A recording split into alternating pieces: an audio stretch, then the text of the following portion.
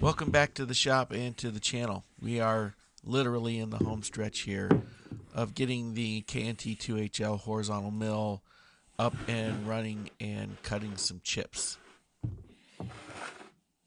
These are the overarm supports. The one here on the left is the intermediate support, which would mount somewhere in the middle of the arbor. And then the one on the right is the style A, which mounts to the end of the arbor. And you can see that both of them are dirty and have some problems. We'll start by doing some quick disassembly and starting here with the style A. This stud in the top is to clamp it to the overarms. That came out a little bit easier than I was expecting. This is just the fill plug for the oil reservoir.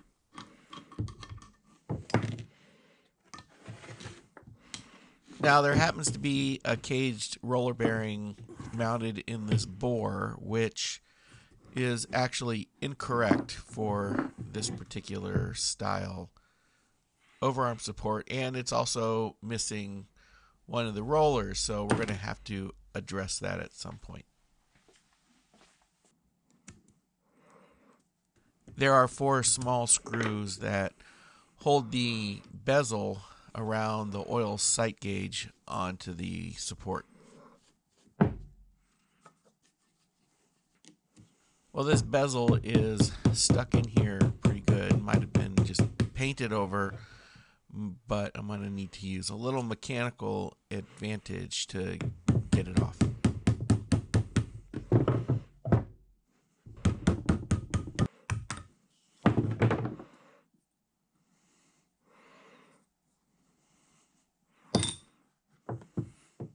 With that bezel off, I can remove what's left of the sight glass. That'll have to get addressed at some point.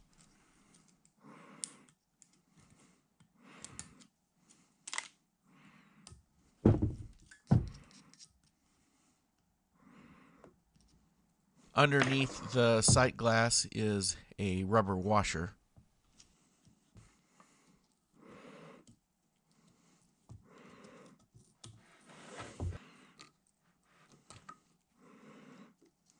And then underneath that washer is the back plate with the level gauges on it. Stuck in there pretty good.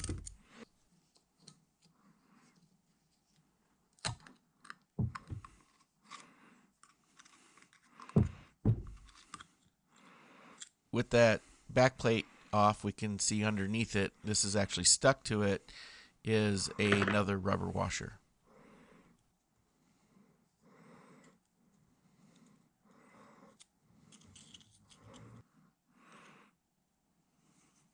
Now, inside the reservoir, you can see there's a copper tube that leads from the reservoir down into the bore where the bearing is, but the oil doesn't drip in there directly.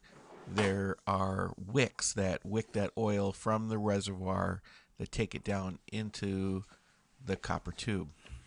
The wicks do a really good job of basically controlling how much oil actually reaches down in there. You don't want it to just all leak out at once so the wick gives it a gradual lubricating effect.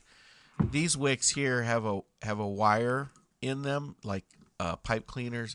I don't know if this is the way that they originally made them, or if these were replaced um, at some point with what's in here now.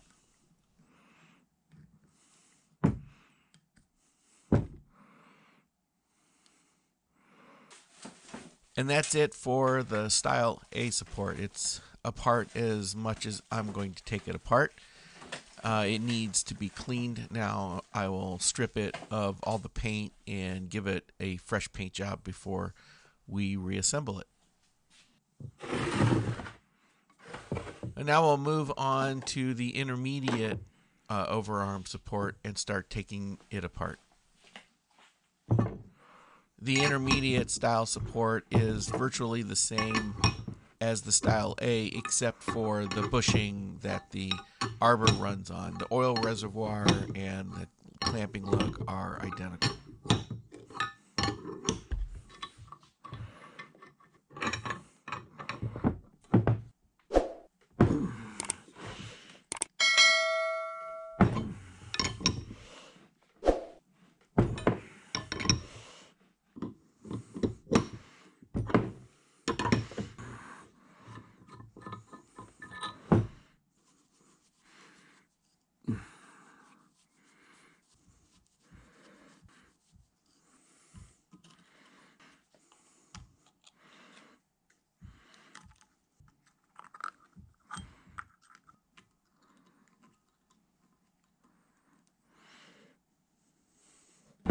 So for this intermediate support, there's this brass or bronze bushing that's held in place with this uh, bushing nut that allows you to adjust it to be the right fit for the bearing on the arbor.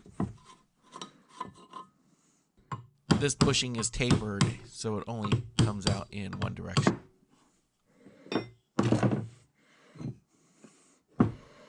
Now, one thing that's missing here on this bushing is what's referred to as an oil retainer that goes inside this slot, which, from what I understand, is a sliver of oak.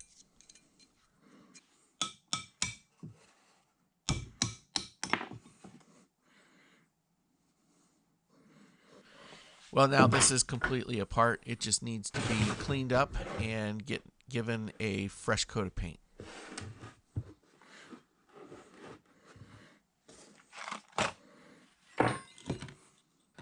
I spent some time on the wire wheel cleaning up all this hardware.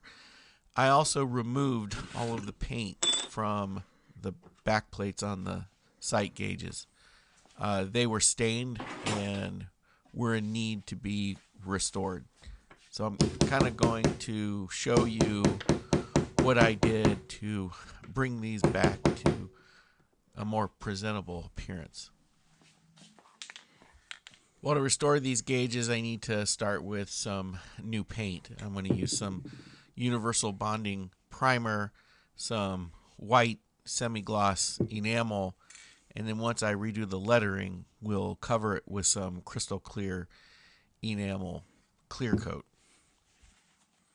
I want to make sure these are nice and clean, so we'll put some acetone on a shop rag and make sure there's no leftover oil or grease on these. I'll give it a coat of primer, and then once it dries, we'll apply two coats of the uh, white enamel. Well, it's been a couple of days since I put on the second coat of white enamel, so I'm now ready to go ahead and redo the lettering. Before I stripped the paint off, I did take a photocopy of one of the gauges so I had an idea of what I want this lettering to end up like. Well, what I'm going to use for new lettering is this sheet of dry transfer letters. These are not adhesives or stickers or anything like that. They're a dry transfer. And what you do is you take a pencil or a burnishing tool and once you have your letter where you want it, you basically just draw over it, you burnish it. And once you're done burnishing and you remove the template, that letter is left behind. Now, I found this sheet of transfer letters at Hobby Lobby, but unfortunately, they don't sell them anymore. I've been able to find them online, but I think Another source is some model railroad transfer letters, which uh, you can get from Amazon. I'll leave a link in the description if you'd like to try something like this yourself.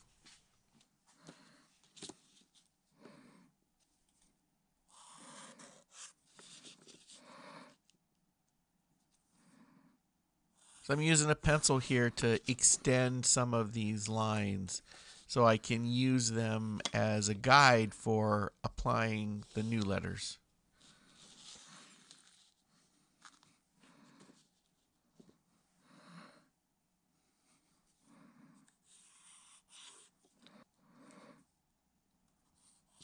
I'm extending references to not only where the letters themselves land or the the high and low lines, but also the the little holes where the oil comes through. And the, anything that I can use to help me figure out just where these letters will land to get it as close to stock as as possible.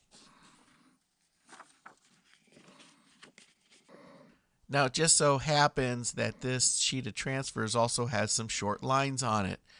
And I'm not sure if they intended them to be used this way, but I'm going to use them to replicate the high and low horizontal lines from the original.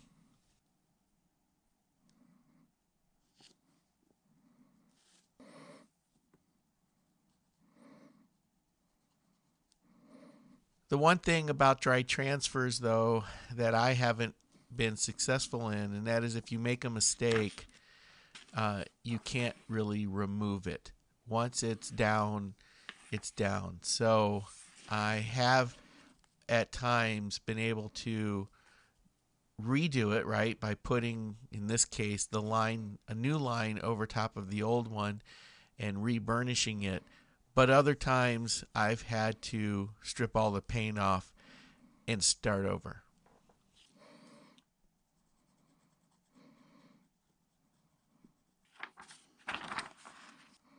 And since these letters aren't an exact replica of what was on the original gauge, I'm sort of guessing where some of these should start. I like to start in the middle, especially if it's center justified, and work my way out left and right.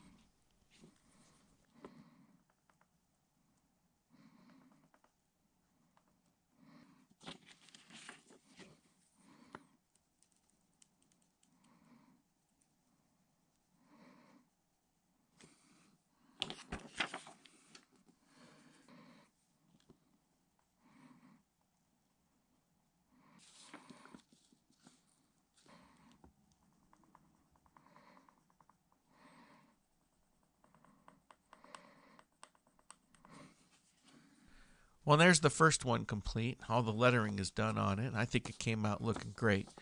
I know this is probably a little bit of an extra step, but I like it and I think it's worth it. Once I complete the second one here, I will apply two coats of the uh, enamel clear coat.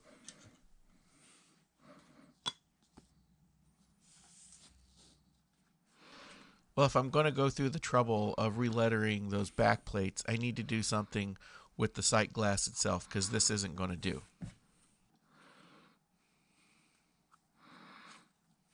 I did find these clear discs on Amazon. They're not quite exactly the right size, but I think I can trace out the originals and trim them to the right size so that they'll fit into the overarm.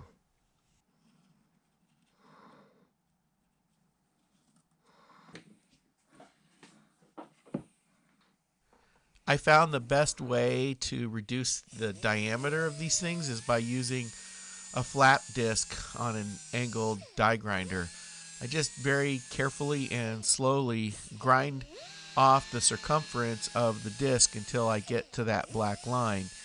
And then I go one step further and make that black line disappear. And once I do, it should be the same size as the original.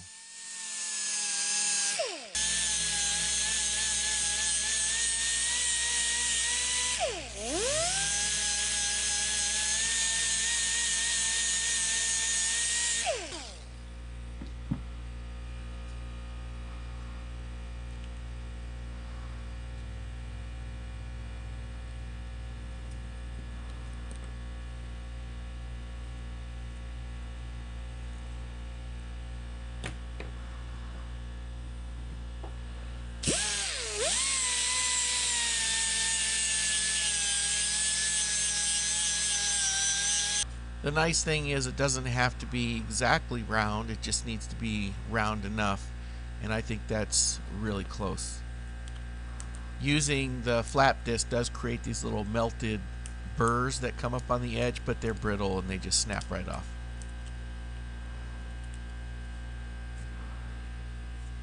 We'll bring in the freshly painted overarm here and give this a quick fit and that slides in there pretty nicely.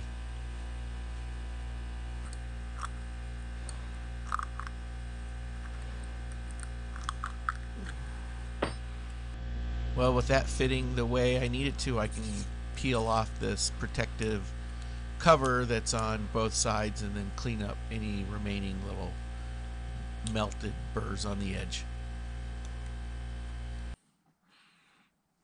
Well, another part that was missing on this intermediate style overarm support was a fillister head screw that locks this ring in position so it can't uh, come looser or go any tighter. Once it's fully adjusted, I need to have a screw in this hole here to keep it from moving. I'm going to make one on the lathe, but before I can, I want to see what the radius is of these notches in the ring so I can turn the head of this new screw to match. Using my set of Starrett uh, radius gauges here to find something that is close and head on over to the lathe. I'll make this screw off camera. Well, we'll start the reassembly of this intermediate uh, overarm support by replacing the felt. So I'm not using this pipe cleaner as an oil wick. Uh, it's just the first step in me replacing the wick. It'll make sense here in a second. The pipe cleaner was just an easy way for me to define the path here that I need this string to go. I'm going to take this string and I'm going to pull it through the same route and then I'll use the string to actually pull the new wick.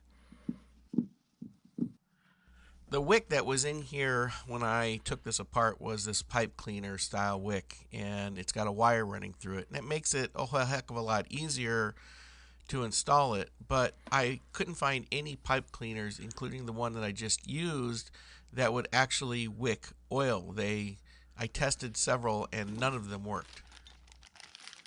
So I'm going to opt to use the felt cord style wick, the same kind that I used when replacing um, the oil wicks in the saddle. So just like I did with the saddle, I'm going to tie the string on the end of the felt cord and then pull it through.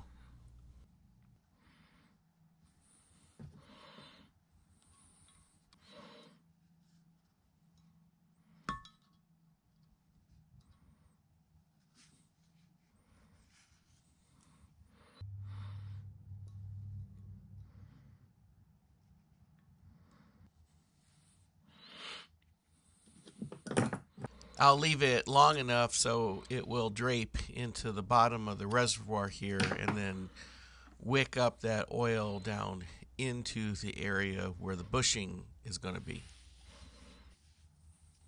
Now I can go ahead and reinstall the washers, the back plate with the new lettering on it, and the bezel to close up the oil reservoir.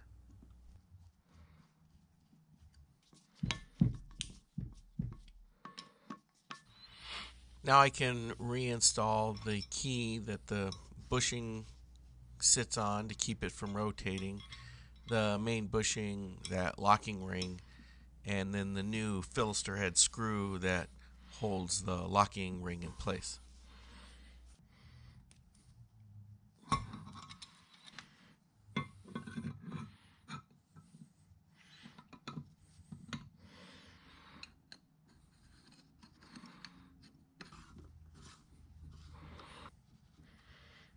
I use one of the arbor bearings to slide it in here to adjust this bushing. The tighter I make that lock ring, the further it pulls it through the taper, and the narrower it will make that bushing.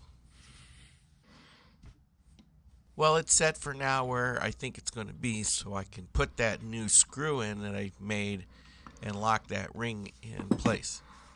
So with that bushing in place, I can measure the gap that's left in there and, and I'll make that uh, oak insert sometime off camera after I'm sure how big it needs to be. Well, the last thing to install is the stud for the overarm clamp itself. And to be sure that I don't inadvertently back this out, I'll put a little blue Loctite on the threads.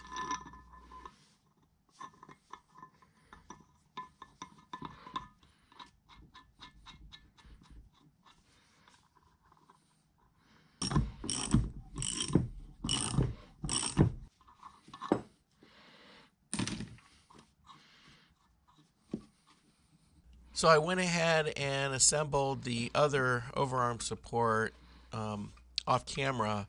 The one thing I need to do here now is to deal with this bearing. This is the one that was in there originally. But it is not what is supposed to be in here, at least not what it was from the factory. This overarm looks like it was bored out at some point because there should be a taper right here. You can see that there's remains of one, but the rest of it seems like it was bored out, or at least that's what I'm presuming. This is a photograph of what should have been here. Uh, this bushing, and there should have been another uh, locking nut on the opposite end that you would tighten to pull the bushing into size as it wears. So I'm going to stick with the bearing. However, this roller bearing is junk. It's missing a roller. I did procure a new one. It's the same one that was in here. It is a bit of a loose fit in that bore.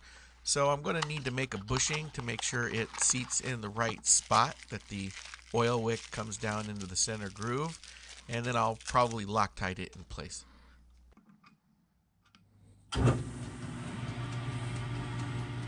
So I have a piece of mystery metal scrap in the lathe and what I'm going to do is turn this down to an OD that will be a slight press fit in that bore and then the ID will be just larger than the ID of the bearing. So the arbor won't ride on this bushing here at all. This bushing here is just to make sure that the bearing stays where I want it.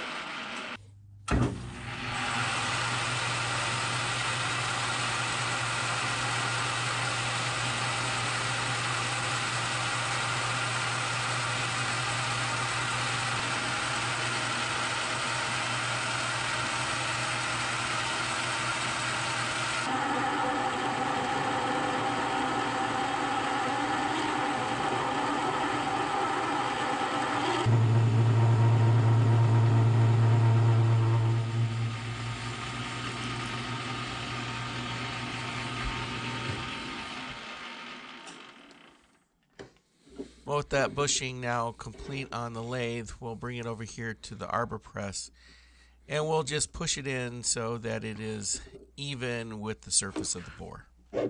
Back over here at the bench, that bushing's in place, so now I'm going to install this um, bearing. See, there's a groove in the center with an oil hole, and I just want to make sure that that lines up with the oil wick that's coming out of the center of the bore.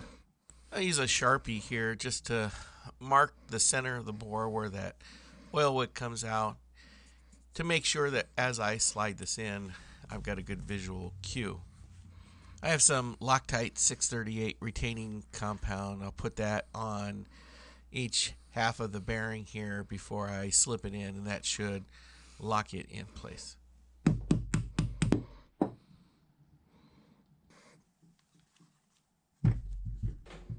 Well, with the overarm supports now all back together, I guess the only thing left to do is install them on the machine and maybe make some chips. I'll start by installing this one and a quarter inch arbor and tightening the drawbar. With the arbor secure in the spindle, I just need to slide on spacers and then put in a cutter course, I'm going to use the largest cutter I have because why not? I'm going to use both overarm supports, so I'm using this big bearing. That's what the intermediate support will ride on.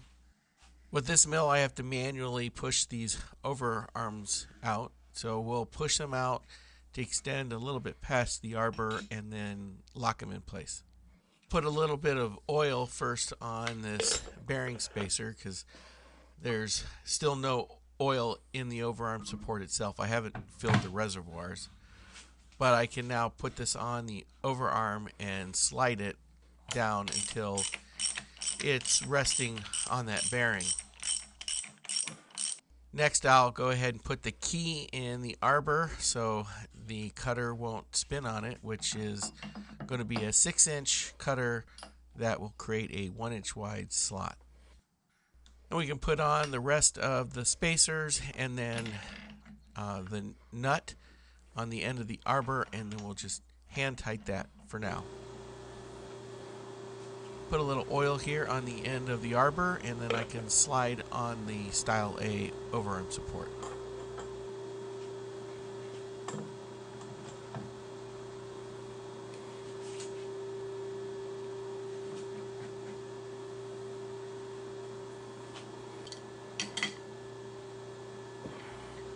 I've got this big chunk of scrap here off of the shelf that we'll put in here as a test. Incidentally, this vise is the one that came with the milling machine. I've done nothing to it. I haven't even cleaned it. So, pardon its ugliness.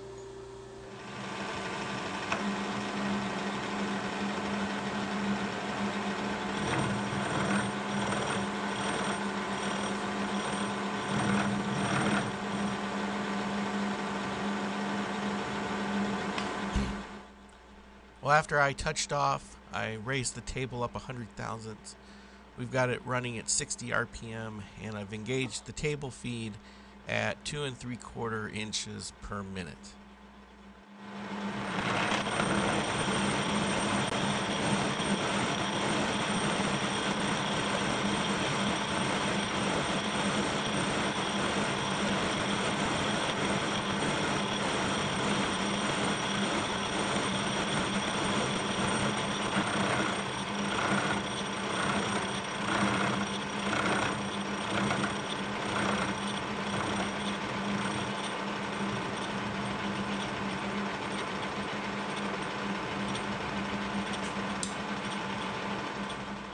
Well, there are the first official chips on this machine since it's been back together, and I think it did excellent. You could hear that rhythmic sound that the cutter was making, and I believe that's because there's likely a very small, undetectable bend in this arbor, and it'll do fine. I, I'm not worried about it even in the least.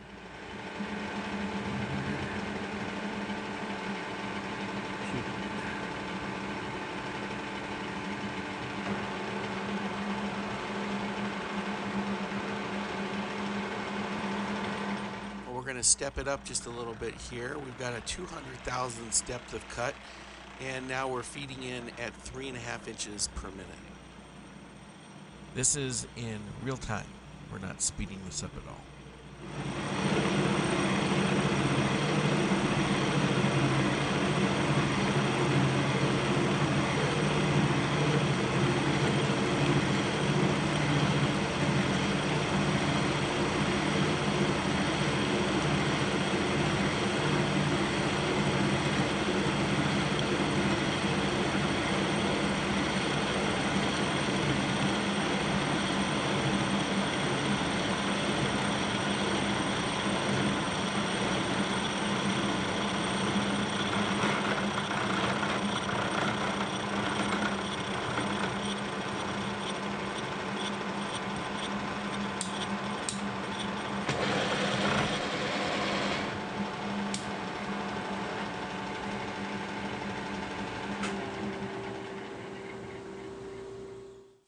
That machine didn't have any trouble whatsoever making that deep and wide of a cut.